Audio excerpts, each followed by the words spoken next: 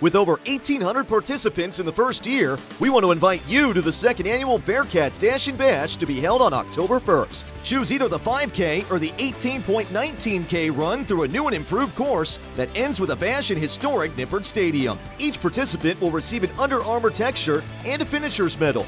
All proceeds benefit UC Athletic Scholarships and the UC College of Law's Ohio Innocence Project. Visit Bearcats-.com for more information and to register now.